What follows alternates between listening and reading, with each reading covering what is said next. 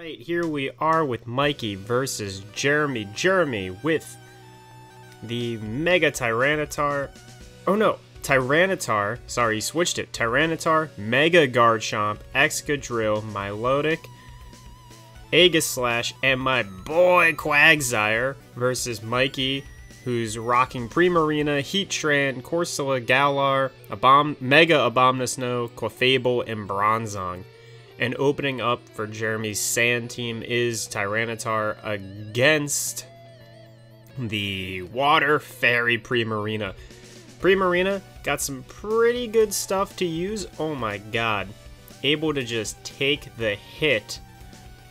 Both Pokemon pretty low, but Primarina cannot actually stay in for another turn. Jeremy probably looking to Earthquake once again. I mean, a Primarina stays in and doesn't heal, Primarina's dead. And it's a trade-off for one Pokemon with Sand for, uh, for Primarina. like, a, a really good type against, uh, against Jeremy. Or Jeremy switches into Milotic. Which is also another possibility, for being honest. Nope, but in comes Bronzong. And in comes Milotic. This is fair.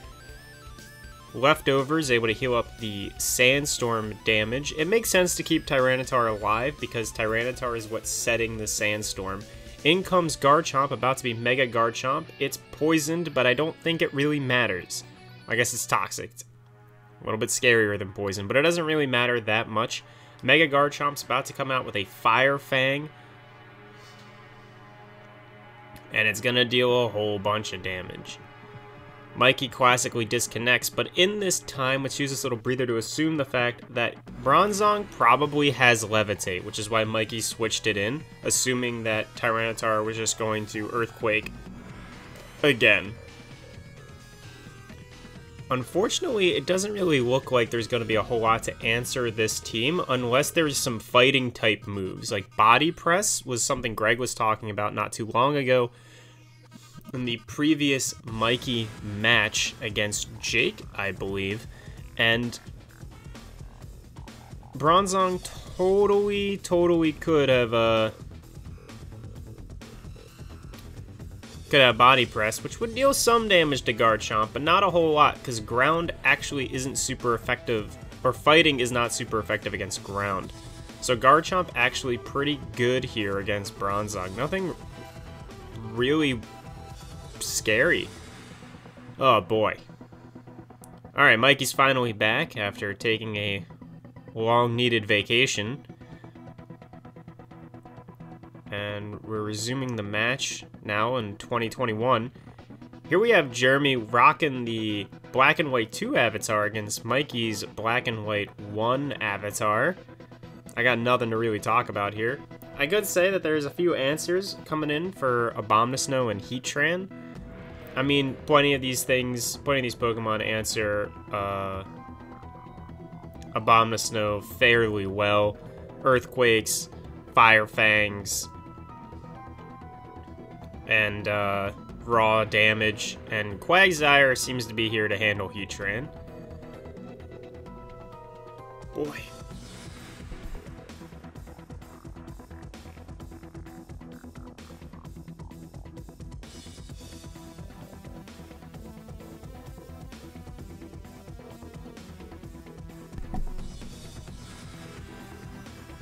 Yeah, you see Jeremy in the chat. Mikey is having some internet connection problems, so he's destined to make every match take as long as possible. nothing, nothing we can really do about that. Ooh. Eats a Fire Blast. Nice that it hit, but Clefable being a Fairy type, really good answer to Garchomp. Earthquake, though, kills it Unfortunately. Now things are a little bit scary. Primarina is not going to outspeed Garchomp. They're going to need a serious ice move, so it looks like it's coming from Abomasnow, but Abomasnow is not going to outspeed Garchomp either, and he's got to hope. This game kind of leans on either a Sap Strength and whittling down of Garchomp, or Abomasnow hitting an ice move on Garchomp. Instead, Mikey's decided to keep Garchomp in. There is no longer a Sandstorm. So the Primarina was effectively traded uh, for what was that 38% HP or something or knocked down to 38%.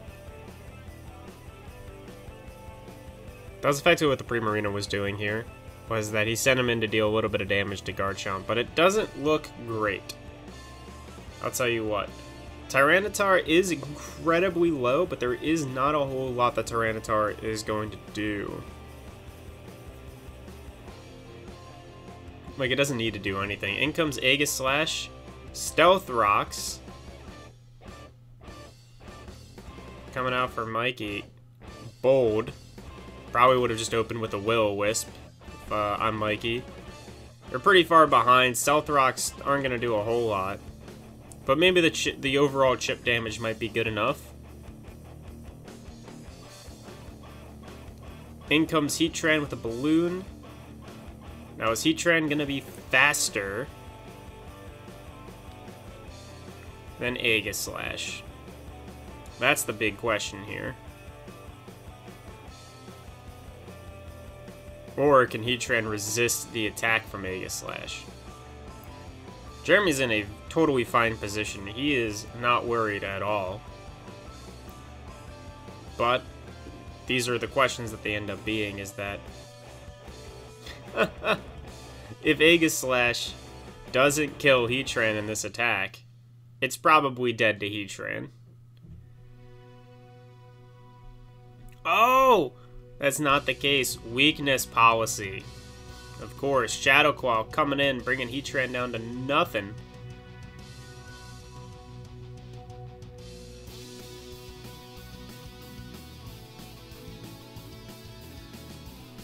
Yeah, pretty low here. I could have sworn that uh, Heatran was going to absolutely destroy him. Really good use of weakness policy from Aegislash. And then a crit from Shadow Sneak, but that's not even necessary. Shadow Sneak would have dealt enough damage to kill Heatran anyway, with plus 3 attack on Aegislash. Now comes Mega Abomasnow.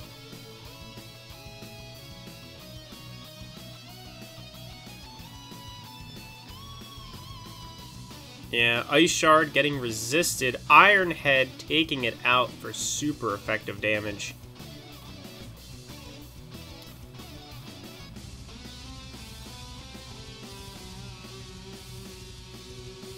It is a little unfortunate. This is probably going to be the GG. I can't see Bronzong or Corsola really holding their own against a full HP Excadrill, Quagsire, and Milotic. Oh my god.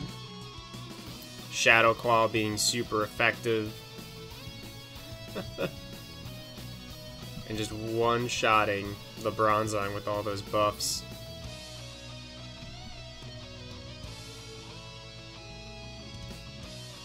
And now Corsola Galar is just toxic. It has sap strength, but Milotic has leftovers and recover. And Jeremy's more than content to just hang out and watch this little coral fish monster just die from from poison.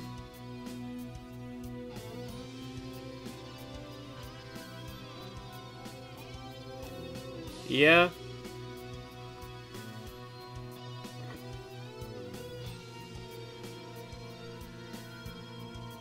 Looks like Milotic special attack went up. Sap strength really not gonna, or strength sap really not gonna do a whole lot here. Toxic is just railing with damage.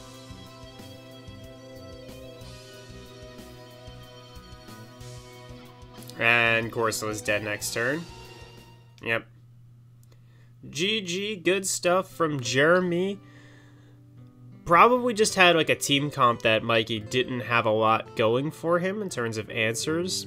You gotta think the Clefable being the answer to the Garchomp would have been really, really good. But Garchomp just absolutely destroying it. So it looks like the type coverage just